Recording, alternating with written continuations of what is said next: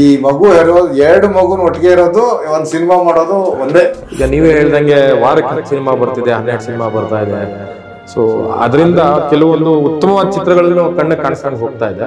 ಈ ನಮ್ಮ ಕನ್ನಡದಲ್ಲಿ ಇಂಥ ಒಂದು ಸಿನಿಮಾ ಬರ್ತಾ ಇದೆಯಲ್ಲ ಅನ್ನೋ ಹೆಮ್ಮೆಯಿಂದ ಈ ರೀತಿ ನೇಟಿವಿಟಿನ ಸ್ಟ್ರಾಂಗ್ ಆಗಿ ಇಟ್ಕೊಂಡು ಮಾಡಬೇಕು ಅಂತ ನಂಗೆ ಅನ್ಸಿತ್ತು. ಯಾಕಂದ್ರೆ ಸಿನಿಮಾ ಚೇಂಜ್ ಆಗ್ತಾ ಇದೆ. ಮೊನ್ನೆ ಹಾಗೆ ಮಂಡ್ಯದಲ್ಲಿ ಏನಾಗಿದೆ ಇನ್ನೂರ ಇಪ್ಪತ್ತೈದು ಜನರನ್ನು ಹುಡುಗಿರು ಮದುವೆ ಆಗೋಕೆ ಹದಿನೈದು ಸಾವಿರ ಹುಡುಗರು ಬಂದಿದ್ದಾರೆ. ಬ್ರಾಹ್ಮಣ ಹುಡುಗಿಯಾಗಿ ಆಕ್ಟ್ ಮಾಡ್ತೀನಿ. ಅದು ಎಷ್ಟು ಚೆನ್ನಾಗಿ ಟ್ರಾನ್ಸ್ಫಾರ್ಮೇಶನ್ ಬಂದಿದೆ ಅಂದ್ರೆ ಗೊತ್ತೇ ಆಗೋದಿಲ್ಲ. ಇವ್ರು ನಿಜವಾಗ್ಲೂ ಮುಸ್ಲಿಮ ಅಥವಾ ಬ್ರಾಹ್ಮಣ ಅಂತ? ಒಂದು ಮೂವತ್ತೇಳು ವರ್ಷದ ಹುಡುಗ ಅವನಿಗೆ ಮದುವೆ ಆಗಿರಲ್ಲ. ಒಂದೇ ಸತಿ ಅನಾವೃಷ್ಟಿ ಇರೋನಿಗೆ ಅತಿವೃಷ್ಟಿ ಅಂತ ಮೂರು ಜನ ಸಿಕ್ಬಿಡ್ತಾರೆ. ಬೇಸಿಕಲಿ ನಾನು ಒಬ್ಬ ಕಾಂಟ್ರಾಕ್ಟರ್ ನಾನು ಫಿಲ್ಮ್ ಮಾಡೋದಕ್ಕೆ ಮೇನ್ ರೀಸನ್ ನನಗಿರೋ ಕನ್ನಡ ಅಭಿಮಾನದ ಬಗ್ಗೆ. ಮೂವತ್ತೇಳು ವರ್ಷ ಆಗಿ ಸ್ವಲ್ಪ ವಯಸ್ಸಾಗಿನೂ ಹೆಣ್ಣು ಸಿಗದೆ ಅಂತ ಒಬ್ಬ ಹುಡುಗನ ಕತೆ ಇದೆ. ಅದು ಆಕ್ಟಿಂಗ್ ತುಂಬಾ ಈಸಿ ಆಗ್ತಾ ಇತ್ತು. ಯಾವ್ದು ತುಂಬಾ ಲೆಂತ್ ಅಂತ ಅನ್ಸ್ತಾ ಇರ್ಲಿಲ್ಲ ಈ ಕಡೆ ತುಂಬಾ ಶಾರ್ಟ್ ಅಂತ. ಎಲ್ಲ ಎಷ್ಟು ಬೇಕು ಅಷ್ಟಿತ್ತು ಸಿನಿಮಾ ಒಂದು ತೆಲುಗು ಸಿನಿಮಾ ತೆಲುಗು ತಮಿಳು ಸಿನಿಮಾ ಬಂತು first day first show ticket ತಗೊಂಡು ಹೋಗಿ ನೋಡ್ತಾರೆ. ಆದ್ರೆ ಕನ್ನಡದಲ್ಲಿ ಮಾತ್ರ ನೀವು ಒಬ್ಬ ಕನ್ನಡಿಗನಿಗೆ ಒಂದು ಲಕ್ಷ ರೂಪಾಯಿ ಸಂಬಳ ಕೊಟ್ಟು ನೋಡಿ ಅವ್ನ ಮನೆಯಿಂದ ಫಸ್ಟ್ ಹೊರಗೆ ಹೊರಗೆ ಹೋಗೋದು ಕನ್ನಡ. ಮುಸ್ಲಿಂ ಪದಗಳು ಮಧ್ಯ ಮಧ್ಯೆ ಬರ್ತಾ ಇರುತ್ತೆ. ಅದಂತೂ ತುಂಬಾನೇ ಮಜಾ ಕೊಡುತ್ತೆ ತುಂಬಾ ಕಾಮಿಡಿ ಇದೆ. ಒಂದೇ ಒಂದು ಎಕ್ಸಾಂಪಲ್ ಅಮ್ಮ ಅನ್ನೋದಕ್ಕೆ ಅಮ್ಮಿ ಅಂದ್ಬಿಡ್ತಾರೆ.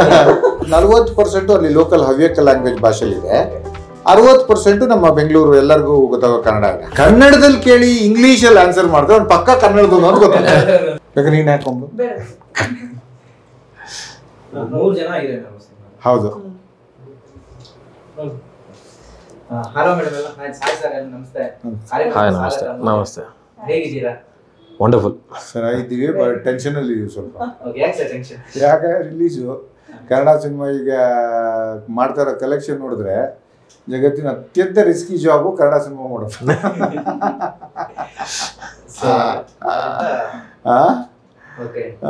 ಯಾರು ಮಾಡ್ದಿರೋದು ಪಾಪ ಹಿಂಗೆ ಯಾರು ನೋಡ್ರಿ ನೀವು ಯಾರು ಈ ಪಾರ್ಟಿಗೆ ಹೋದ್ರೆ ಏನ್ ಮಾಡ್ತಾ ಇರೋ ಒಂದು ಕನ್ನಡ ಇವ್ ಕನ್ನಡ ಸಿನಿಮಾ ಮಾಡ್ತಾ ಇದ್ದೀರಾ ಅಂದ್ರೆ ಏನ್ ಪಾಪ ಇನ್ನೇನು?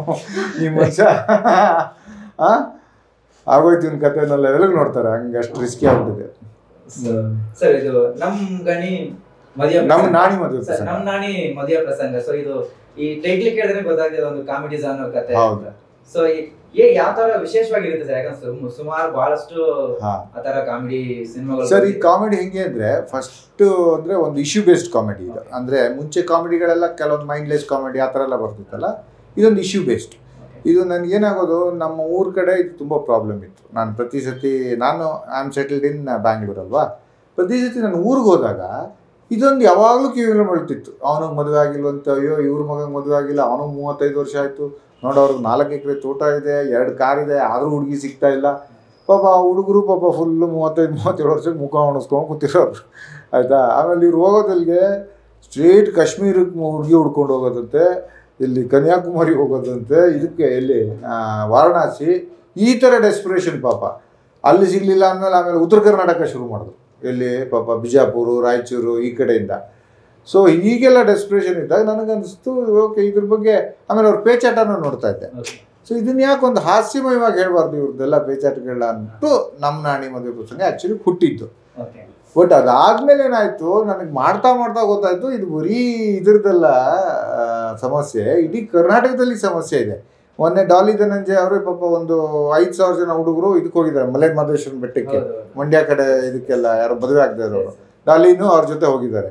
ಮೊನ್ನೆ ಹಾಗೆ ಮಂಡ್ಯದಲ್ಲಿ ಏನಾಗಿದೆ? ಇನ್ನೂರ ಇಪ್ಪತ್ತೈದು ಜನರನ್ನು ಹುಡುಗಿರು ಮದುವೆ ಆಗೋಕೆ ಹದಿನೈದು ಸಾವಿರ ಹುಡುಗರು ಬಂದಿದ್ದಾರೆ. ಅಂದ್ರೆ ಯಾವ ಲೆವೆಲ್ ಹಾ ಸೊ ಇವಾಗ ಫುಲ್ ಹುಡುಗಿರಿಗೆ ಡಿಮ್ಯಾಂಡ್ ಹುಡುಗರಿಗೆ ಏನು ಅಂದ್ರೆ ಅಭ್ಯಾಸದಲ್ಲೇ ಇಲ್ಲ. ಅಲ್ಲ ಇಲ್ಲೂ ಇಬ್ರು ಇದೀವಿ ನೋಡಿ. ಹಾ ಇಲ್ಲಿ ಇದ್ರಿದ್ದೀವಿ ನೋಡಿ. ಡಿಮ್ಯಾಂಡ್ ಇವರೇ. ಓಕೆ ಮೇಡಮ್ ಈ ಸಿನಿಮಾದಲ್ಲಿ ನೀವು ನಿಮ್ಮ ಒಂದು ಪಾತ್ರದ ಬಗ್ಗೆ ಹೇಳೋದಾದ್ರೆ ಸೊ ಯಾವ ತರ ಒಂದು ರೂಲ್ ಇದೆ ನಿಮ್ದು? ನನ್ನ ರೋಲ್ ಅಂತೂ ತುಂಬಾನೇ ಇಂಟ್ರೆಸ್ಟಿಂಗ್ ಆಗಿದೆ. ಟೂ ಶೇಡ್ಸ್ ಬರುತ್ತೆ. ನಾನು ಇನಿಷಿಯಲಿ ಒಂದು ಮುಸ್ಲಿಂ ಹುಡುಗಿ ತರ ಪರಿಚಯ ಆಗ್ತೀನಿ. ಇಂಟ್ರೊಡಕ್ಷನ್ ಹಂಗಾಗುತ್ತೆ. ಅದಾದ್ಮೇಲೆ ಹೋಗ್ತಾ ಹೋಗ್ತಾ ನಾನು ಬ್ರಾಹ್ಮಣ ಹುಡುಗಿಯಾಗಿ ಆಕ್ಟ್ ಮಾಡ್ತೀನಿ. ಅದು ಎಷ್ಟು ಚೆನ್ನಾಗಿ ಟ್ರಾನ್ಸ್ಫಾರ್ಮೇಶನ್ ಬಂದಿದೆ ಅಂದ್ರೆ ಗೊತ್ತೇ ಆಗೋದಿಲ್ಲ. ಇವ್ರು ನಿಜವಾಗ್ಲೂ ಮುಸ್ಲಿಮ ಅಥವಾ ಬ್ರಾಹ್ಮಣ ಅಂತ ಎರಡೂ ಅಷ್ಟು ಚೆನ್ನಾಗಿ ಬಂದಿದೆ. ಸೊ ಐ ವೆರಿ ಈಗರ್ ಅಂದ್ರೆ ಯಾವಾಗ ಮೂವಿ ರಿಲೀಸ್ ಆಗ್ತಾ ಇದೆಯೋ ಅಂತ ಐ ಆಮ್ ಕೌಂಟಿಂಗ್ ಡೇಸ್ ತುಂಬಾ ಚೆನ್ನಾಗಿತ್ತು. ಎಕ್ಸ್ಪೀರಿಯನ್ಸ್ ಅಂತೂ ತುಂಬಾನೇ ಚೆನ್ನಾಗಿತ್ತು. ಫುಲ್ ಸಿರ್ಸಿನಲ್ಲೇ ಶೂಟ್ ಮಾಡಿರೋದು.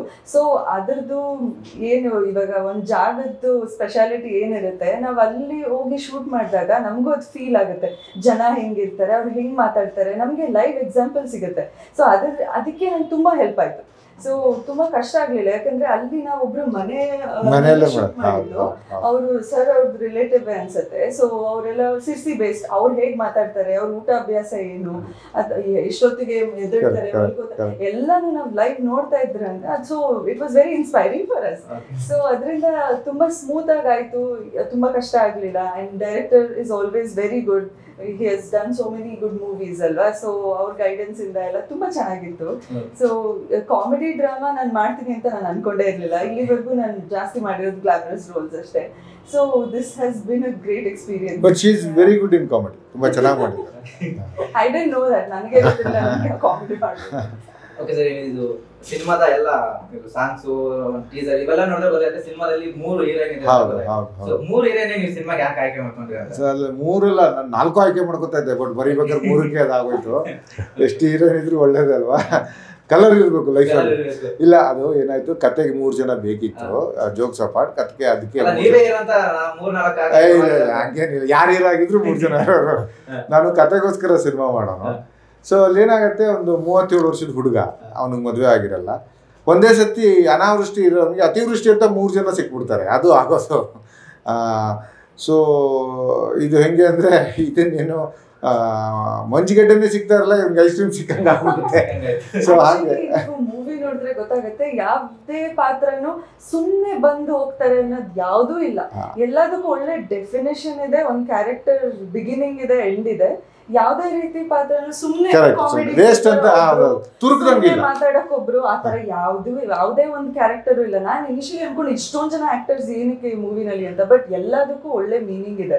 ಓಕೆ ಸರಿ ಇದು ನಿರ್ದೇಶನದಿಂದ ನಟನೆ ಕೂಡ ಮಾಡಿದ್ರು. ಇದನ್ನೆಲ್ಲ ಹೇಗೆ ಇದರಲ್ಲಿ ಹ್ಯಾಂಡಲ್ ಮಾಡಿದ್ರೆ ಅಂತ? ಅಯ್ಯೋ ಅದು ಬಿಹೈಂಡ್ ದ ಸೀನ್ ನಮ್ಮ ನಾಣಿ ಮದುವೆ ಪ್ರಸಂಗ ಏನಾಯ್ತು ಅಂತ ಎರಡು ಪಿಕ್ಚರ್ ಮಾಡ್ಬೋದು. ಅದು ಯಾಕಂದ್ರೆ ಆಲ್ವೇಸ್ ಇದು ಯಾವಾಗಲೂ ಟೆನ್ಷನ್ನೇ.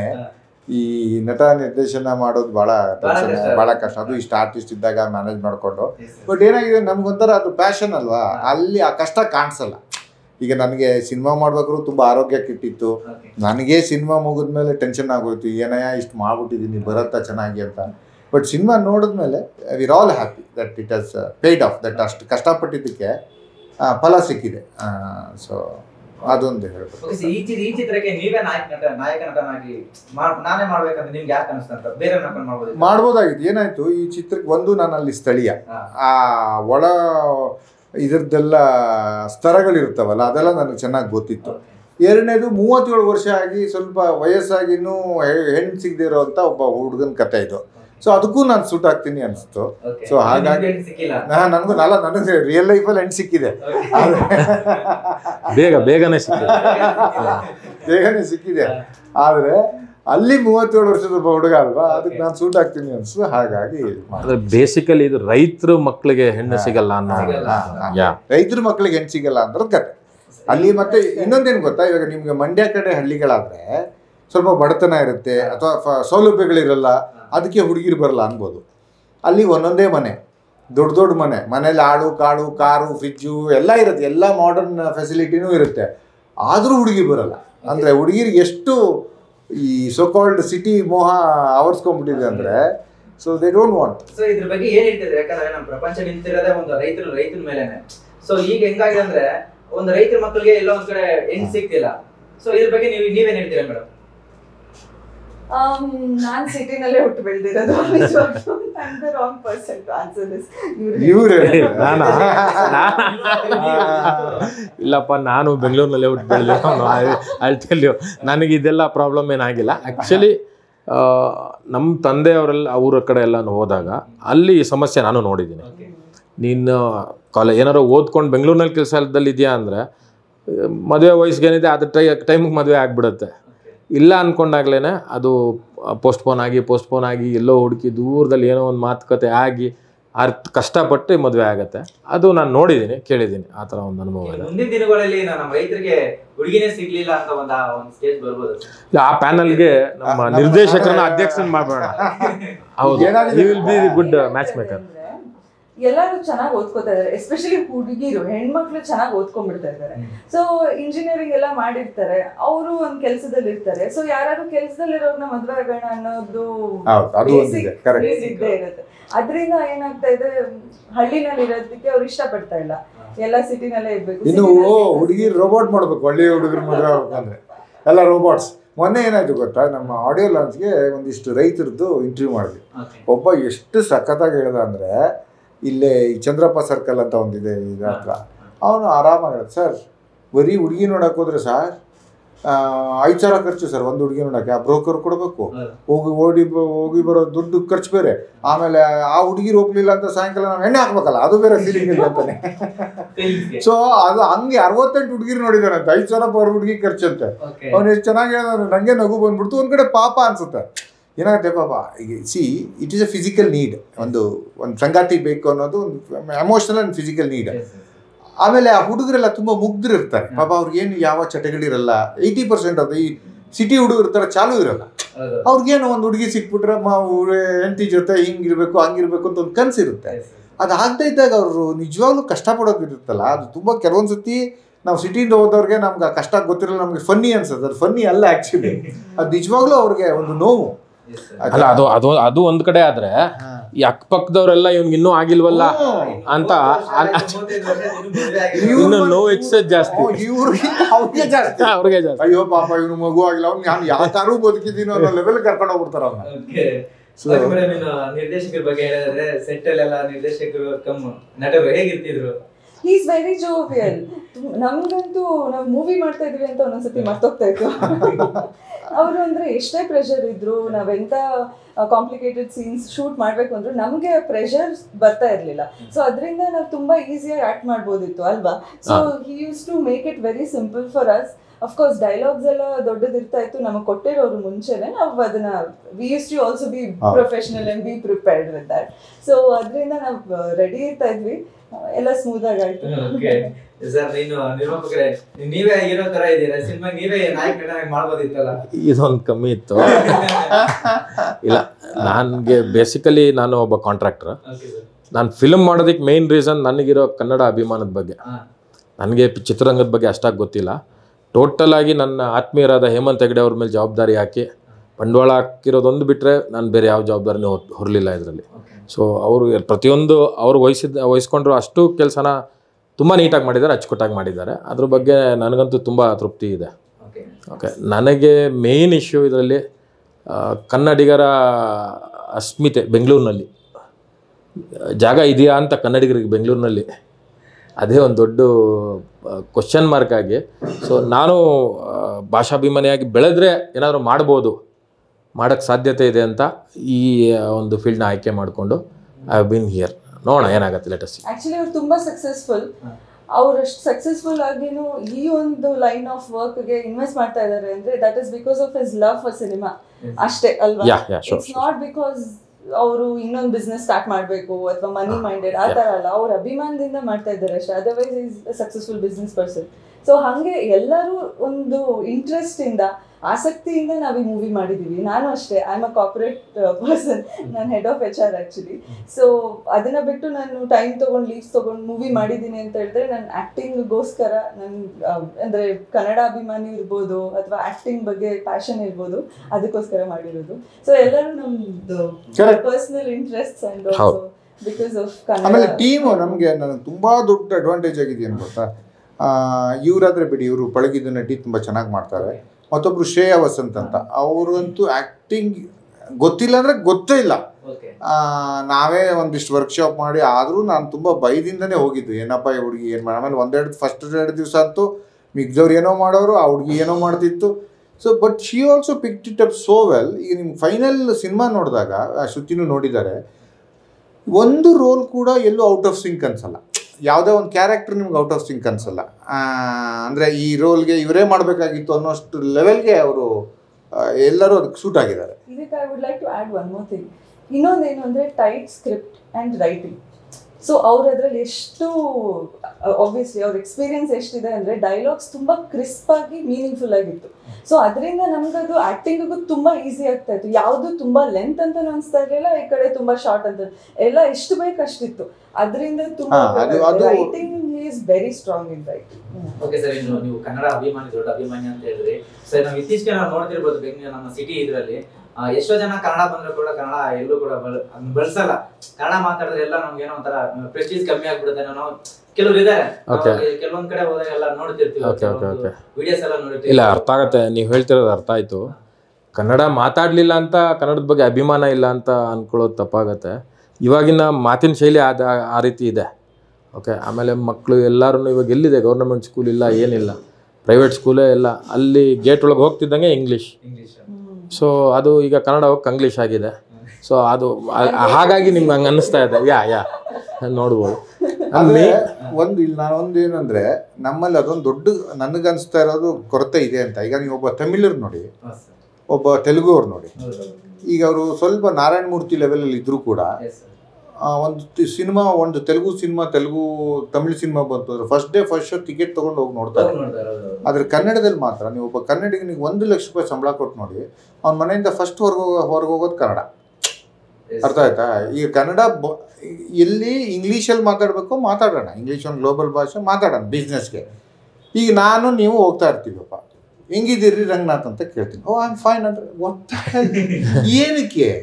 ಕರ್ನಾಟಕದಲ್ಲಿ ನಾನು ನಿಮ್ಮನ್ನು ಕನ್ನಡದಲ್ಲಿ ಕೇಳಿದ್ದೀನಿ. ನೀವು ಕನ್ನಡದಲ್ಲಿ ಆನ್ಸರ್ ಮಾಡಿ ಅಲ್ಲ ಹಾಂ ನನ್ನ ಫ್ರೆಂಡ್ ಒಬ್ರು ರಂಗ ಅಂತಿದ್ದಾರೆ ಇಂಗ್ಲಿ ಇಂಗ್ಲೆಂಡಲ್ಲಿ ಅವರು ವಾಕಿಂಗ್ ಹೋಗ್ತಾರೆ. ಅವ್ರು ಇರೋದು ಲಂಡನ್ನಲ್ಲಿ ಒಂದು ಪಾಶ್ ಏರಿಯಾದಲ್ಲಿ ಆಯಿತಾ? ವಾಕಿಂಗ್ ಹೋಗ್ತಾರಂತೆ. ವಾಕಿಂಗ್ ಹೋದಾಗ ಯಾರು ಸೌತ್ ಇಂಡಿಯನ್ ಥರ ಕಂಡ್ರೆ ಅವ್ರಿಗೆ ಕನ್ನಡದಲ್ಲಿ ಕೇಳ್ತಾರಂತೆ. ತಮಿಳು ತೆಲುಗು ಮಲಯಾಳಂ ಅವ್ರು ಯಾರಿದ್ರು ಕನ್ನಡದಲ್ಲಿ ಕೇಳಿದ್ರು ಅವ್ರಿಗೆ ಒಂದು ಭಾಷೆ ಇದ್ದು ಸೌತ್ ಇಂಡಿಯನ್ ಗೊತ್ತಾಗ್ತಾ ಅವ್ರು ಅವ್ರ ಮದರ್ ಟಂಗಲ್ಲಿ ಆನ್ಸರ್ ಮಾಡ್ತಾರಂತೆ. ಕನ್ನಡದಲ್ಲಿ ಕೇಳಿ ಇಂಗ್ಲೀಷಲ್ಲಿ ಆನ್ಸರ್ ಮಾಡಿದ್ರೆ ಅವ್ನು ಪಕ್ಕ ಕನ್ನಡದ ಅಂತ ಗೊತ್ತಾಗ್ತದೆ. ಅರ್ಥ ಆಯ್ತಾ? ಅದು ಕನ್ನಡದಲ್ಲಿ ಕೇಳಿದ್ರೆ ಅರ್ಥ ಮಾಡ್ಕೊಂಡು ಅದನ್ನ ಇಂಗ್ಲೀಷಲ್ಲಿ ಆನ್ಸರ್ ಮಾಡಿದ್ರೆ ಪಕ್ಕ ಕನ್ನಡ ಅಂತ ಸೊ ಈ ರೀತಿ ನಮ್ಗೊಂಥರ ವಿಚಿತ್ರ ಇಂಗ್ಲಿಷ್ ಮೋಹ ಇದೆ ಕನ್ನಡಿಗರಲ್ಲಿ. ಅಂದ್ರೆ ಐ ಥಿಂಕ್ ಬೆಂಗಳೂರಲ್ಲಿ ಅದು ಯಾಕೆ ಜಾಸ್ತಿ ಆಗಿದೆ ಅಂದ್ರೆ ಐ ಟಿ ಇಂದ. ಕಾಸ್ಮೋಪಾಲಿಟನ್ ಸಿಟಿ ಇಲ್ಲ ಇಲ್ಲ ಸರ್ ಹೋಗ್ತಾ ಹೋಗ್ತಾ ಐ ಥಿಂಕ್ ಬೆಂಗಳೂರಿನವ್ರಿಗೆ ಕನ್ನಡದವ್ರಿಗೆ ಬೆಂಗಳೂರಿನಲ್ಲಿ ಕೆಲಸಕ್ಕೋಸ್ಕರ ರಿಸರ್ವೇಶನ್ ಸ್ಟಾರ್ಟ್ ಮಾಡಬೇಕು ಅಂತ ಕಾಣುತ್ತೆ. ಇರ್ಬೋದು. ಮೇ ಬಿ ದಟ್ ಅದೊಂದು ಬರ್ಬೋದು. Full north Indian. ಜಾಸ್ತಿ. ಅದಲ್ದೇನು ನಮ್ ಸೀನಿಯರ್ ಪೀಪಲ್ ಏನಿದ್ದಾರೆ ಮ್ಯಾನೇಜ್ಮೆಂಟ್ ಅವರು ಕನ್ನಡದಲ್ಲಿ ಅಥವಾ ಯಾವುದೇ ರೀಜನಲ್ ಲ್ಯಾಂಗ್ವೇಜಸ್ ಅಲ್ಲೂ ಮಾತಾಡಂಗೆ ಇಲ್ಲ. ಇಂಗ್ಲಿಷ್ ಅಲ್ಲೇ ಮಾತಾಡಬೇಕು ಅಂತ ರೂಲ್ಸ್ ಮಾಡ್ತಾರೆ ಅಲ್ವಾ? ಹಂಗೆ ನಮ್ಗೆ ಅಭ್ಯಾಸ ಆಗೋಗುತ್ತೆ ಇಂಗ್ಲಿಷ್ ಅಲ್ಲೇ ಮಾತಾಡ್ಬೇಕು ಓಕೆ ಮೇಡಮ್ ಇನ್ನು ಸಿನಿಮಾದ ವಿಚಾರಕ್ಕೆ ಬರೋದಾದ್ರೆ ನೀವು ಹಿಂದಿನ ಸಿನಿಮಾಗಳಲ್ಲಿ ನೀವು ಆಲ್ಮೋಸ್ಟ್ ತುಂಬಾ ಗ್ಲಾಮರಸ್ ಪಾತ್ರಗಳೆಲ್ಲ ಮಾಡಿದ್ದೀರಾ. ಸೊ ಈ ಸಿನಿಮಾದಲ್ಲಿ ಯಾವ ತರ ನಿಮ್ ಕ್ಯಾರಿಯರ್ ಯಾವ ತರ ಒಂದು ಯಾವ ತರ ಇರುತ್ತೆ ಪಾತ್ರ ಇರೋದು? ನಂದು ಕಂಪ್ಲೀಟ್ ಟ್ರೆಡಿಷನಲ್ ಇದ್ರಲ್ಲಿ. ಹಾ ಮುಸ್ಲಿಂ ಆಗಿನೂ ಟ್ರೆಡಿಷನಲ್ ಆಗಿ ಬರ್ತೀನಿ ಟ್ರೆಡಿಷನಲ್ ಮುಸ್ಲಿಂ ಹುಡುಗಿ ತರ ಬ್ರಾಹ್ಮಣ್ ಆಗಿನೂ ಟ್ರೆಡಿಷನಲ್ ಬ್ರಾಹ್ಮಣ್ ಹುಡುಗಿ ತರನೇ ಕಾಣಿಸ್ಕೋತೀನಿ. ಸೊ ಇದು ವಿಭಿನ್ನವಾದ ಪಾತ್ರ. ಸೊ ನೀವ್ ನೋಡ್ಬೇಕು ಮೂವಿನ ಎಲ್ಲರೂ ನೋಡ್ಬೇಕು. ಸೊ ಎಲ್ಲರಿಗೂ ಇಷ್ಟ ಆಗುತ್ತೆ ಅನ್ಕೊಂಡಿದ್ದೀನಿ. Okay sir sir. ಇನ್ನು ಚಿತ್ರದ ತಾರಾ ಬಳಗದ ಬಗ್ಗೆ ಹೇಳಿದ್ರೆ. ಸಿನಿಮಾದಲ್ಲಿ ಯಾರೆಲ್ಲ ಇದ್ದಾರೆ ಸರ್ ಸರ್ ಇದರಲ್ಲಿ ಪದ್ಮಜರಾವ್ ಅವರಿದ್ದಾರೆ ರಾಜೇಶ್ ನಟರಂಗ ಇದ್ದಾರೆ ಮಧು ಹೆಗ್ಡೆ ಇದ್ದಾರೆ. ನಮ್ಮ ಮಂಜುನಾಥ್ ಹೆಗ್ಡೆ ಮರೀನಾ ತಾರ ಗಿರೀಶ್. ತುಂಬ ಗಿರೀಶ್ ಶಿವಣ್ಣ ತುಂಬ ರಂಗಭೂಮಿ ಮತ್ತು ಸಿನಿಮಾ ದೊಡ್ಡ ದೊಡ್ಡ ಕಲಾವಿದರಿದ್ದಾರೆ. ಆದರೆ ಎಲ್ಲರೂ ಬೇರೆ ಬೇರೆ ಪದ್ಮಜರಾವ್ ನೀವು ಕಾಮಿಡಿ ಮಾಡೋದು ತುಂಬ ಕಡ ಕಡಿಮೆ ನೋಡಿದ್ದಾರೆ ಮಾಡೇ ಇಲ್ಲ ಅನ್ಕೋತೀನಿ. ಅವರು ಅದ್ಭುತವಾಗಿ ಮಾಡಿದ್ದಾರೆ. ರಾಜೇಶ್ ನಟರಂಗ ಅಂತ ಒಂದು ರೆವಲ್ಯೂಷನ್ ಅಂತಲೇ ಹೇಳ್ಬೋದು ಸಿನಿಮಾದಲ್ಲಿ. ಅಂದರೆ ಅವ್ರು ಕಾಮಿಡಿ ಮಾಡೋಲ್ಲ ಅವ್ನು ಯಾವ ಹಿಂಗೆ ಇರ್ತಾನೆ? ಫ್ರೆಂಡ್ ಅವನು. ಸಿಡುಕ್ ಮೂತಿ ಹಿಂಗೆ ಇರ್ತಾನೆ. ಅವ್ನು ಎಷ್ಟು ಚೆನ್ನಾಗಿ ಕಾಮಿಡಿ ಮಾಡಿದ್ದಾನೆ ಅಂದರೆ ಆ ಇಮೇಜೇ ಚೇಂಜ್ ಆಗ್ಬಿಡುತ್ತೆ. ಮಧು ಹೆಗ್ಡೆನೂ ಅಷ್ಟೇ is known for only serious roles ಅವ್ರಿಗೆ ತುಂಬ ಟೆನ್ಷನ್ ಆಗ್ಬಿಡುತ್ತೆ. ಅಣ್ಣ ಹೆಂಗಣ್ಣ ನಾನು ಇದು ಫುಲ್ ಲೆಂಗ್ ಕಾಮಿಡಿ ರೋಲು ನಾನು ಮಾಡ್ತೀನಿ. ಅದು ಆರ್ ಯು ಗುಡ್ ಆ್ಯಕ್ಟರ್ ನೀನು ಒಳ್ಳೆ ಆ್ಯಕ್ಟ್ರಾ ಹ್ಞೂ ಹಂಗಾರೆ ಒಳ್ಳೆ ಆ್ಯಕ್ಟರ್ ಆದರೆ ಕಾಮಿಡಿ ಗಿಮಿಡಿ ಅದೇನು ಬರೋದೇ ಇಲ್ಲ. ನೀನು ಫ್ಲೋ ಜೊತೆ ಹೋಗು ನನ್ನ ಸ್ಕ್ರಿಪ್ಟ್ ನಿನ್ಗೆ ಅಸಿಸ್ಟ್ ಮಾಡುತ್ತೆ ಅಂದರೆ he is also fantastic so ಈ ಥರ ಎಲ್ಲರೂ ಅಂದರೆ ಚಿಕ್ಕ ಪುಟ್ಟ ರೋಲಿಂದ ಹಿಡಿದು ದೊಡ್ಡ ರೋಲ್ ತನಕ ಎಲ್ಲರೂ ನಗಿಸಿದ್ದಾರೆ. ಆಮೇಲೆ ಎಂಜಾಯ್ ಮಾಡಿದ್ದಾರೆ. ಇಡೀ ಸಿನಿಮಾದಲ್ಲಿ ಅದು ಕಾಣಿಸುತ್ತೆ ಅವರು ಎಂಜಾಯ್ ಮಾಡೋರು ನನ್ನ ರೋಲಲ್ಲಿ ಇನ್ನೊಂದು ಏನಾಗುತ್ತೆ ನಾನು ಮೂಲತಃ ಮುಸ್ಲಿಂ ಹುಡುಗಿ ಅಲ್ವಾ? ಬ್ರಾಹ್ಮಣ್ ಹುಡುಗಿಯಾಗಿ ನಾನು ನಟಿಸ್ತಿರ್ಬೇಕಾದ್ರೆ ಮುಸ್ಲಿಂ ಪದಗಳು ಮಧ್ಯ ಮಧ್ಯೆ ಬರ್ತಾ ಇರುತ್ತೆ. ಅದಂತೂ ತುಂಬಾನೇ ಮಜಾ ಕೊಡುತ್ತೆ ತುಂಬಾ ಕಾಮಿಡಿ ಇದೆ. ಅದನ್ನ ನಾನು ಇವಾಗ್ಲೇ ಎಲ್ಲ ಹೇಳ್ಬಿಟ್ರೆ ಎಲ್ಲ ಗೊತ್ತಾಗ್ಬಿಡುತ್ತೆ.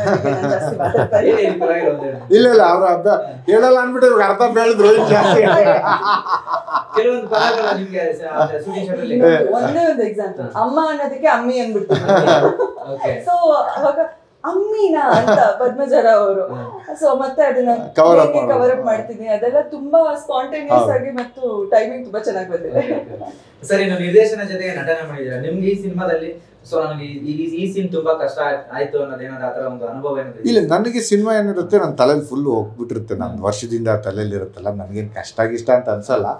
ನಮಗೆ ಕಷ್ಟ ಆಗೋದು ಕ್ಯಾಮ್ರಾ ಮುಂದೆಗಿಂತ ಕ್ಯಾಮ್ರಾ ಹಿಂದ್ಗಡೆ ಏನೇನೋ ನಡೀತಾ ಇರತ್ತಲ್ಲ ಎಲ್ಲಾರು ಗುಡ್ಡ ಹಾಕೋದು ಇದಾಕೋದು ಹಾಕೋದು. ಅದೇ ಟೆನ್ಷನ್ ಓಡ್ತಾ ಇರುತ್ತೆ. ಅದು ಬಿಟ್ಟರೆ ಕ್ಯಾಮ್ರಾ ಮುಂದೆ ನನಗೆ ಯಾವತ್ತು ಯಾಕೆಂದರೆ ನಾನು ಕತೆಗಾರ ಕಮ್ ರೈಟ್ ಆಕ್ಟರ್ ಆಗಿರೋದ್ರಿಂದ ಒಬ್ಬ ಕತೆಗಾರಂಗೆ ಅದು ವರ್ಷಗಟ್ಟಲೆ ಓಡ್ತಾ ಇರುತ್ತೆ. ಅದು ಪ್ರೋಸ್ ಆ್ಯಂಡ್ ಕಾನ್ಸ್ ಆಗಿ ಆಗಿ ಆಗಿ ಆಗಿ ಕೊನೆಗೆ ಸ್ಕ್ರಿಪ್ಟಲ್ಲಿ ಬರೋದಲ್ಲ ಅಷ್ಟೊತ್ತಿಗೆ ನಿಮಗೆ ಆ ಕ್ಯಾರೆಕ್ಟರ್ ಹಂಗೆ ಈ ಕ್ಯಾರೆಕ್ಟರ್ ಹಂಗೆ ಎಲ್ಲ ತಲೆಯಲ್ಲಿ ಕೂತ್ಬಿಟ್ಟಿರುತ್ತೆ. ಸರ್, ಇದು ಆ ಒಂದು ನಲ್ವತ್ತು ಪರ್ಸೆಂಟು ಅಲ್ಲಿ ಲೋಕಲ್ ಹವ್ಯಕ ಲ್ಯಾಂಗ್ವೇಜ್ ಭಾಷೆಲಿದೆ ಅರವತ್ತು ಪರ್ಸೆಂಟು ನಮ್ಮ ಬೆಂಗಳೂರು ಎಲ್ಲರಿಗೂ ಗೊತ್ತಾಗೋ ಕನ್ನಡ ಇದೆ ಹಂಗಂತ ಹವ್ಯಕ ಕನ್ನಡ ನಿಮ್ಗೆ ಗೊತ್ತಾಗಲ್ಲ ಅಂತೇನಲ್ಲ. ಈಗ ನೀವು ನಾರ್ತ್ ಕನ್ನಡ ಕನ್ನಡ ಹೆಂಗೆ ಅರ್ಥ ಆಗುತ್ತೋ ಅಷ್ಟು ಅರ್ಥ ಆಗುತ್ತೆ. ಸೊ, ಏನಂದು, ಏನು ಹಳೆಗನ್ನಡ ಅಥವಾ ಕಬ್ಬಣದ ಕಡಲೆ ಏನಲ್ಲ. ಸೊ, ಎಲ್ಲ ಥರ ಒಂದು ಮಿಕ್ಸ್ ಇದೆ ಸರ್. ಅಲ್ಲಿ ನಾ, ನಮ್ಮ ನಾಯಕರು ಅಂತ ಇರ್ತಾರೆ, ದಿವೀರ್ ಅಂತ. ಅವ್ರದ್ದು ಕನ್ನಡ ಇದೆ ನಮ್ಮ ಕನ್ನಡ ಇದೆ. ಎಲ್ಲದಕ್ಕಿಂತ ಹೆಚ್ಚಾಗಿ ಒಂದು ಸೊಗಡಿದೆ. ಆ ಪ್ಲೇಸ್ ಸೊಗಡಿದೆಯಲ್ಲ ಒಂದು ಅಡಿಕೆ ತೋಟ ಇರ್ಬೋದು ಅವರು ಮಾಡೋ ತಿಂಡಿ ತಿನಿಸಿ ಇರ್ಬೋದು ಅದು ಗಮ್ ಅಂತ ನಿಮ್ಗೆ ಹೊಡೆಯುತ್ತೆ. ಆ ಸೊಗಡು ನಿಮಗೆ ಆ ಕಾಮಿಡಿನ ಸ್ಪೆಷಲ್ ಆಗ್ಸುತ್ತೆ ಆ ನೇಚರು ಪ್ರಾಬ್ಲಿ ಇವರೆಲ್ಲ ಅಗ್ರಿ ಮಾಡ್ತಾರೆ ಆ ನೇಚರು ಆ ಸೊಗಡನ್ನ ತುಂಬ ಚೆನ್ನಾಗಿ ಎಸ್ಪೆಷಲಿ ನೀವು ಸಿರ್ಸಿ ಸೈಡ್ ಈ ಸಿನಿಮಾ ಮಾಡ್ಬೇಕಂತ ಯಾಕೆ ಆ ಒಂದು ಈಗ ಅಲ್ಲಿದೆ ಕತೆ. ಕಾಂತಾರ ಬಂದ್ಮೇಲೆ ಆಲ್ಮೋಸ್ಟ್ ಅಲ್ಲಲ್ಲ ಕಾಂತಾರಗಿಂತ ಮುಂಚೆ ನಮ್ಮ ಶೂಟಿಂಗ್ ಶುರು ಆಗ್ಬಿಟ್ಟಿತ್ತು ನಮಗೆ ಲಾಸ್ಟ್ ನಾವು ಕಾಂತಾರ ಇಂದ ಯಾವುದೇ ರೀತಿ ಇನ್ಫ್ಲುಯೆನ್ಸ್ ಆಗಿಲ್ಲ. ಕಾಂತಾರ ಬರತ್ತೆ ಅಂತನೂ ಗೊತ್ತಿಲ್ಲ ನಮಗೆ. ನಾವು ಇನ್ನು ಶುರು ಮಾಡಿದ್ದು ಲಾಸ್ಟ್ ಮೇನಲ್ಲಿ. ಸೊ ಅದರಿಂದ ಯಾವುದೇ ಇನ್ಫ್ಲುಯೆನ್ಸ್ ಇಲ್ಲ. ಅಲ್ಲಿ ಕತೆ ನನಗೂ ಫಸ್ಟ್ ಟೈಮ್ ಅನಿಸ್ತು. ನಾನು ಇಲ್ಲಿ ತನಕ ಕಮರ್ಷಿಯಲ್ ಸಿನಿಮಾ ಮಾಡಿದ್ದೀನಿ. ಅಂದರೆ ಕಮರ್ಷಿಯಲ್ ಸಿನಿಮಾ ಅಂದರೆ ಯಾವುದೇ ಪ್ಲೇಸು ನೇಟಿವಿಟಿ ಇಟ್ಕೊಳ್ಳದೆ ಒಂದು ರೆಗ್ಯುಲರ್ ಎಂಟರ್ಟೈನರ್ ಅಂತ. ಈ ಸತಿ ನೇಟಿವಿಟಿನ ಸ್ಟ್ರಾಂಗ್ ಆಗಿ ಇಟ್ಕೊಂಡು ಮಾಡಬೇಕು ಅಂತ ನಂಗೆ ಅನಿಸಿತ್ತು. ಯಾಕಂದರೆ ಸಿನಿಮಾ ಚೇಂಜ್ ಆಗ್ತದೆ ಇಡೀ ಗ್ಲೋಬಲಲ್ಲಿ ಸಿನಿಮಾ ಚೇಂಜ್ ಆಗ್ತದೆ ಜನ ಚೇಂಜ್ ಕೇಳ್ತಾ ಇದ್ದಾರೆ. ಆಮೇಲೆ ನಾವು ಚೇಂಜ್ ಆಗದೇ ಇದ್ರೆ ನಾವು ಒಂದು ಮರ ಶಿಥಿಲವಾಗಿ ಬಿದ್ಬಿಡುತ್ತೆ ಅಂತಾರಲ್ಲ ಹಂಗೆ ಆಗ್ಬಿಡ್ತೀವಿ so you have to be constantly upgrading yourself okay sir ಇನ್ನು ಈ ಸಿನಿಮಾಕ್ಕೆ ನೀವು ಬಂಡವಾಳ ಹೂಡ್ಬೇಕಾದ್ರೆ ನಿಮ್ಗೆ ಏನು ಕತೆ ಯಾವ ತರ ನಿಮ್ಮ ಕತೆ ಏನ್ ಇಷ್ಟ ಆಗಿ ಯಾವ ತರ ನಿಮ್ಮ ಇಷ್ಟ ಆಗಿ ಈ ಸಿನಿಮಾ ನೀವು ಬಂಡವಾಳ ಹೂಡಿದ್ರಿ ಅಂತ? ಇಲ್ಲ ನನ್ನ ಮೇನ್ ಅಜೆಂಡಾ ಇದ್ದಿದ್ದು ಭಾಷಾಭಿಮಾನ ಅಷ್ಟೇ. ಭಾಷಾಭಿಮಾನ. ಹೌದು. ಆಮೇಲೆ ಹೇಮಂತ್ ಸರ್ ಸಿಕ್ಕಿ ಅವರು ಏನು ಕತೆ ಬಗ್ಗೆ ಹೇಳಿದ್ರು ನನಗೆ ಮೇನ್ ಕತೆಗಿನ್ನ ಹೆಚ್ಚಾಗಿ ಅವರು ವ್ಯಕ್ತಿಯಾಗಿ ತುಂಬ ಇದಾಗಿ ಇಷ್ಟ ಆದರು. ಆಮೇಲೆ ಹೌದಪ್ಪ ಇವ್ರನ್ನ ನಂಬೋದು ನಂಬಿ ಮುಂದುವರಿಬೋದು. ನಾನು ಅಂದ್ಕೊಂಡಿರೋ ಕನಸು ಇದರಿಂದ ನನಸಾಗುತ್ತೆ ಅಂತ ಎಲ್ಲ ಆಲೋಚನೆ ಮಾಡಿ ಒಟ್ಟಿಗೆ ಸಂದೀಪ್ ಬಗ್ಗೆ ಹೇಳೋದಾದರೆ ಭಾಳ ಒಳ್ಳೆ ಪ್ರೊಡ್ಯೂಸರ್ ಇಂಥ ಪ್ರೊಡ್ಯೂಸರ್ನ ನಾವು ಉಳಿಸಿ ಬೆಳೆಸಿದ್ರೆ ಕನ್ನಡ ಚಿತ್ರರಂಗಕ್ಕೆ ಒಳ್ಳೆ ಯಾವುದೇ ರೀತಿ ಮುಖ ಸಿಂಧಿಸ್ಕೊಳ್ದೆ ಎಲ್ಲದಕ್ಕೂ ಕೋಆಪ್ರೇಟ್ ಮಾಡಿಕೊಂಡು ಆಮೇಲೆ ದುಡ್ಡು ಕಾಸಿಗೆ ಯಾವುದೇ ರೀತಿ ತೊಂದರೆ ಕೊಡದೆ ಭಾಳ ನೀಟಾಗಿ ಪ್ರೊಡಕ್ಷನ್ ಮಾಡಿದ್ದಾರೆ. ಆಮೇಲೆ ನಮ್ಮಲ್ಲಿ ಇದೆ ಈ ಹೊಸ ಪ್ರೊಡ್ಯೂಸರ್ಗಳನ್ನ ನಾವು ಉಳಿಸ್ಬೇಕು. ಎಷ್ಟಾಗತ್ತೋ ನಮ್ಮ ಕೈಲಿ ಒಂದು ಸಿನಿಮಾನ ಮಾಡೋ ಸ್ಕ್ರಿಪ್ಟ್ ಆಗಲಿ, ಇದಾಗಲಿ, ಶ್ರದ್ಧೆಯಿಂದ ಮಾಡಿದ್ರೆ ಪಾಪ ದುಡ್ಡು ಹಾಕ್ದವನಿಗೂ ಒಂದು ನಾಲ್ಕು ಕಾಸು ವಾಪಸ್ ಬಂದರೆ ನೆಕ್ಸ್ಟ್ ಬಟ್ ನಮ್ಮಲ್ಲಿ ಹಾಗಿಲ್ಲ. ಒಂದು ಕ ಕೋಳಿ ಒಂದು ಚಿನ್ನದ ಮಟ್ಟಕ್ಕೆ ಕೊಡ್ತಾ ಇದೆ ಅಂದರೆ ಫಸ್ಟ್ ಕೋಳಿನ ಕೊಯ್ದ್ಬಿಡೋಣ ಆಮೇಲೆ ನೋಡ್ಕೊಂಬಿಡೋಣ ಅಂತ ಓಕೆ ಸರ್ ಇನ್ನು ಚಿತ್ರದ ಮೂರು ಜನ ನಾಯಕ ನಟಿದ್ದಾರೆ So, ಹ್ಮ್. ಇನ್ನು ಇಬ್ಬರು ನಾಯಕ ನಟರು ಯಾಕೆ ಬಂದಿಲ್ಲ? ಹಾಂ ಒಬ್ಬರು ಇದು ಏನು ಬಾಂಬೆಲಿದ್ದಾರೆ ಇದ್ದಾರೆ ಇನ್ನೊಬ್ರು ಬರಕ್ ರೆಡಿ ಇದ್ರು. ನಾನು ಅದು ನಮ್ಮದೇ ತಪ್ಪು.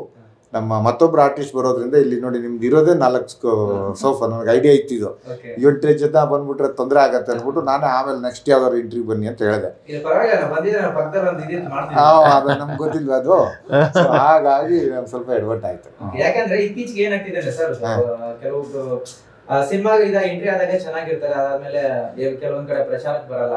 ಇಲ್ಲ ನಮ್ಮಲ್ಲಿ ಇಲ್ಲ ನೀವು ನಮ್ಮದು ಪ್ರತಿಯೊಂದು ಪ್ರೊಮೋಸ್ ನೋಡ್ಬೋದು. ಬೇರೆ ನಿಮಗೆ ಅಲ್ಲಿ ಅದ್ರಲ್ಲಿ ಇದೆಲ್ಲ ಹಾ, ಹೌದು. ಗ್ರೂಪ್ ಹೋಗ್ತಾ ಇದೀವಿ ಎಸ್ ಆ ತರ ಈಕ್ವಲ್ ಆಗಿ ಡಿಸ್ಟ್ರಿಬ್ಯೂಟ್ ಮಾಡ್ಕೊಂಡು ಇಪ್ಪತ್ತು ಜನ ಆರ್ಟಿಸ್ಟ್ ಇದ್ದಾರೆ. ಎಲ್ಲರಿಗೂ ಜಸ್ಟಿಸ್ ಮಾಡ್ಬೇಕಲ್ಲ. ಇಲ್ಲ, ಅರ್ಥ ತುಂಬಾ ಸಿನಿಮಾಗಳು ಬರ್ತಿದೆ ನಿಮಗೆ ಗೊತ್ತು. ಈಗ ಏನಾಗಿದೆ ಅಂದ್ರೆ ರೀಲ್ಸ್ ಮಾಡೋರ್ನ ಟಿಕ್ ಟಾಕ್ ಮಾಡೋರ್ನೆಲ್ಲ ನಾಯಕ ನಟಿಯಾಗಿ ಆಮೇಲೆ ಅವ್ರು ನೋಡಿ ಪ್ರಚಾರಕ್ಕೆ ಬರ್ತಾರಲ್ಲ ಹ್ಮ್. ಸುಮಾರು ಅಲ್ಲೆಲ್ಲ ಅವ್ರ ಮಧ್ಯಾಹ್ನ ವೈಮನಸ್ಸು ವೈಮನಸ್ಸು ಆಗ್ಬಿಟ್ಟಿರುತ್ತೆ ಕರೆಕ್ಟ್ ಇಲ್ಲ ಈ ತರ ನಮ್ಮ ಸಿನಿಮಾದಲ್ಲಿ ಅದು ಆ ತರ ಇಲ್ಲ. ಆಮೇಲೆ ಫಸ್ಟ್ ಟೈಮ್ ಮೂರು ಜನ ಹೀರೋಯಿನ್ ಇದ್ರು ಯಾರು ಕಿತ್ತಾಡಿಲ್ಲ. ಯಾವುದೇ ಈಗೋ ಪ್ರಾಬ್ಲಮ್ ಬಂದಿಲ್ಲ. Because all of them are so sweet so ಯಾವುದೇ ರೀತಿ ನಮಗೆ ಓಕೆ ಸಾಂಗ್ಸ್ ವಿಚಾರಕ್ಕೆ ಬರೋದ್ರೆ ಸರ್ ಎಷ್ಟು ಸಾಂಗ್ಸ್ ಇದೆ ಸಿನಿಮಾದಲ್ಲಿ? ವಿ ಮನೋಹರ್ ಸರ್ ಅವರು ಹೌದು. ನೋಡಿ ಎರಡು ಸಾಂಗ್ ಇದೆ. ಅದ್ರಲ್ಲಿ ಒಂದು ಸಾಂಗ್ ಈಗಾಗಲೇ ಸೂಪರ್ ಹಿಟ್ ಆಗಿದೆ ಕರ್ನಾಟಕದಲ್ಲಿ ಮನೆ ಮಾತಾಗಿದೆ. ಒನ್ ಮಿಲಿಯನ್ ಪ್ಲಸ್ ವ್ಯೂಸ್ ಆಗಿದೆ. ಆಮೇಲೆ ನಮ್ಮ ಕಡೆ ಅಂತೂ ತುಂಬ ಚೆನ್ನಾಗಿ ಕ್ಲಿಕ್ ಆಗಿದೆ ಅಂತ ಇವತ್ತು ನಮ್ಮ ಊರಿಂದ ಫೋನ್ ಬಂದಿತ್ತು. People are enjoying it. So ನಾವು ಮಾಡ್ಬೇಕಾದ್ರೆ ಅದನ್ನ ನಮ್ಗೆ ಐಡಿಯಾ ಇರಲಿಲ್ಲ. ಒಂದು ಹವ್ಯಕ ಭಾಷೆ ಸಾಂಗ್ ಹೆಂಗೆ ಅದೇ. ಈಗ ನಿಮ್ಮ ಇವರೊಬ್ರು ಮಾತು ಹೇಳ್ತಾ ಇದ್ರು. ಸರ್ ನಾವು ಪ್ಲಾನ್ ಮಾಡಿದ್ದು ಒಂದು ಇಟ್ಟಾಗಲ್ಲ ಸುಮ್ಮನೆ ಹೆಂಗೆ. ಇಟ್ಟಾಗ್ಬಿಡತ್ತೆ ಅಂತ. ಸೊ ಇದು ಹಾಗೆ. ವಿ ಮನೋಹರ್ ಅವರು ಒಂದು ಬ್ಯೂಟಿಫುಲ್ ಸಾಂಗ್ ಮಾಡಿದ್ದಾರೆ. ಅದಿನ್ನೂ ನಾವು ಲಾಂಚ್ ಮಾಡಿಲ್ಲ. ಆಮೇಲೆ ಮನೋಹರ್ ಸರ್ ಅವ್ರದ್ದು ಪಾಪ ನಾವು ಒಂದೇನಂದ್ರೆ ಅವರು ಸಿನಿಮಾಗೆ ಹಿನ್ನೆಲೆ ಸಂಗೀತ ಕೂಡ ಮಾಡಿದ್ದಾರೆ. ಹಿನ್ನೆಲೆ ಸಂಗೀತ ಮಾಡಿಬಿಟ್ಟು ಅವ್ರು ಬಂದು ಹೇಳಿದ್ರು ನಾನು ಯೂಶ್ವಲಿ ನಮ್ಮ ಸಿನಿಮಾ ಬಗ್ಗೆ ಹೆಂಗಿತ್ತು ಸರ್ ಹೆಂಗಿತ್ತು ಅಂತ ಕೇಳಕ್ಕೆ ಹೋಗಲ್ಲ. ಕೇಳಿದ್ರೆ ಪಾಪ ಅವ್ರು ಏನಂತಾರೆ ಅವ್ರಿಗೆ ಚೆನ್ನಾಗಿದೆ ಅಂತಾನೆ ಅಂತಾರೆ ಯಾರು ಚೆನ್ನಾಗಿಲ್ಲ.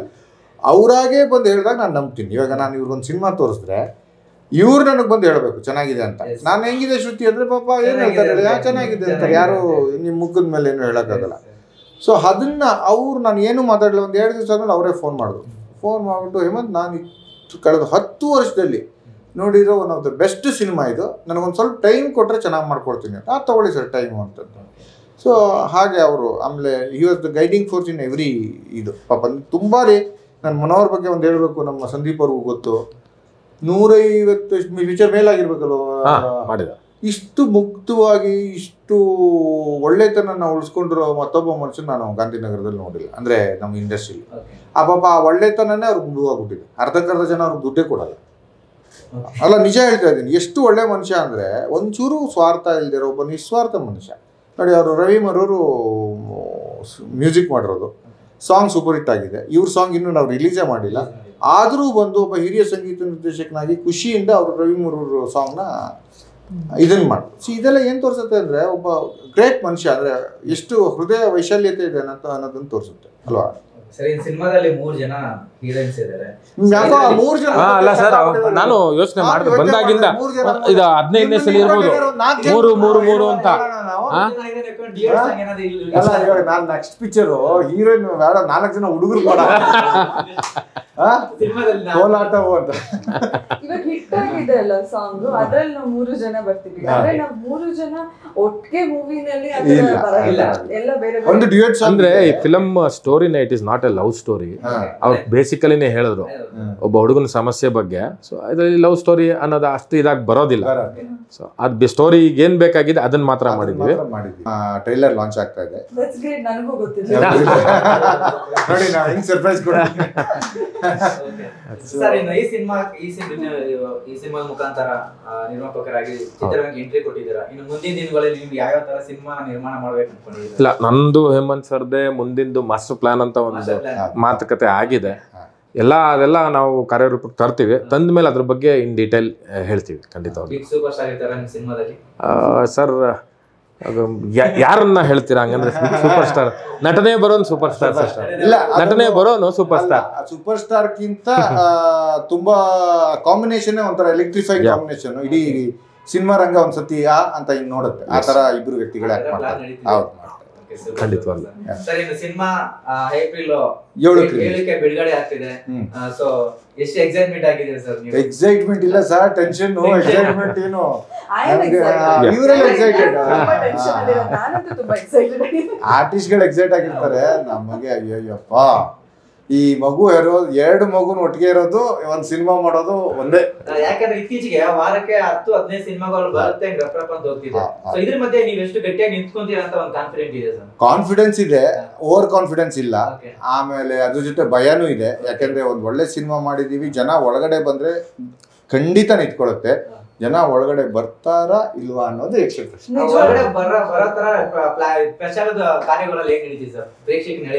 ನಡೀತಾರೆ ಸರ್? ಭರ್ಜರಿಯಾಗಿ ಮಾಡ್ತಾ ಇದ್ದೀವಿ. ಏನು ನಮಗೆ ನಮ್ಮ ತಿಳುವಳಿಕೆನಲ್ಲಿ ಏನೇನು ಮಾಡ್ಬೋದು ಅಷ್ಟನ್ನು ಮಾಡ್ತಾ ಇದ್ದೀವಿ. ಮುಂದಿನ ದಿನಗಳಲ್ಲಿ ಮಾಸ್ ಮೀಡಿಯಾಗೂ ತಲುಪ್ತೀವಿ. ಸೊ ಚಿತ್ರ ಇನ್ನೊಂದು ವಾರ ಇದೆ ಬಿಡುಗಡೆಗೆ ಅನ್ನುವಾಗ. ಸೊ ನಾವು ಅಲ್ಲೂ ಮಾಸ್ ಮೀಡಿಯಾಗೂ ತಲುಪಿ ಅಲ್ಲೂ ಒಂದಷ್ಟು ಇಂಟರ್ವ್ಯೂ ಇದೇ ಥರ ಮಾಡಿ ತಮ್ಮ ಸ್ನೇಹಿತರುಗಳ ಜೊತೆ ಎಲ್ಲ ಮಾತಾಡಿ ಏನು ಮಾಡ್ಬೋದು ಅದನ್ನೆಲ್ಲ ಮಾಡ್ತೀವಿ ಖಂಡಿತವಾಗ್ಲೂ. ತಮ್ಮ ಮಾಧ್ಯಮದ ಮುಖಾಂತರ ನಾನು ನನ್ನ ಅಷ್ಟು ಕಲಾವಿದರಿಗೆ I would like to say thank you ಯಾಕಂದರೆ ಪ್ರತಿಯೊಬ್ಬರೂ ರೋಲ್ ಚಿಕ್ಕದಾಗಲಿ ದೊಡ್ಡದಾಗಲಿ ದೇವರ್ ಆಲ್ ಇನ್ ಟೈಮ್ ಸಮಯಕ್ಕೆ ಸರಿಯಾಗಿ ಪ್ರತಿಯೊಬ್ಬರು ಬಂದು ಎಲ್ಲ ಸರ್ ಹೇಳಬೇಕು ಅಂದ್ರೆ ನೈಂಟಿ ಪರ್ಸೆಂಟ್ ಸಿಂಗಲ್ ಶೆಡ್ಯೂಲಲ್ಲೇ ಮಾಡಿದ್ದೀವಿ ಇದನ್ನು. Single schedule ninety percent complete ಮಾಡಿದ್ದೀವಿ in ten percent second schedule ಅದು ಎರಡೇ ಶೆಡ್ಯೂಲ್ ನಾವು ಮಾಡಿದ್ದು. ಅದಾದಮೇಲೆ ಮತ್ತೆ ಬೇರೆ ಬೇರೆ ಶೆಡ್ಯೂಲ್ ಅಂತ ಅದು ಇದು ಅಥವಾ ಯಾವುದೇ ಒಂದು ಆರ್ಟಿಸ್ಟ್ ಇವತ್ತಿಲ್ಲ ಅಂತ ನಾವು ಶೂಟಿಂಗ್ ಪೋಸ್ಟ್ಪೋನ್ ಮಾಡಿದ್ದಿಲ್ಲ. ಸೊ ಪ್ರತಿಯೊಬ್ಬರು ಚಿಕ್ಕವರು ದೊಡ್ಡವರು ಪ್ರತಿಯೊಬ್ಬ ಆರ್ಟಿಸ್ಟು ನಮ್ಗೆ ಅಷ್ಟೇ ಸಹಕಾರ ನೀಡಿದ್ದಾರೆ. I'd like like to thank everyone for that sir ನನ್ನ ಸಿನಿಮಾಗೆ ನಾನೇ ಬಂಡವಾಳ ಹಾಕಿದ್ರೆ ಚೆನ್ನಾಗಿರಲ್ಲ. ನೋಡಿ ನೀವು ಹಾಕೋದಾದ್ರೆ ಖಂಡಿತ ಮಾಡೋಣ. ಖಂಡಿತ ಮಾಡೋಣ. ಯಾಕಂದ್ರೆ ನೀವು ಹಾಗೆ ತುಂಬಾ ಪ್ರೋತ್ಸಾಹ ಕೊಡ್ತಾ ಇದ್ದೀರಾ? ಇವರು ತುಂಬಾ ಮಾಡೋಣ.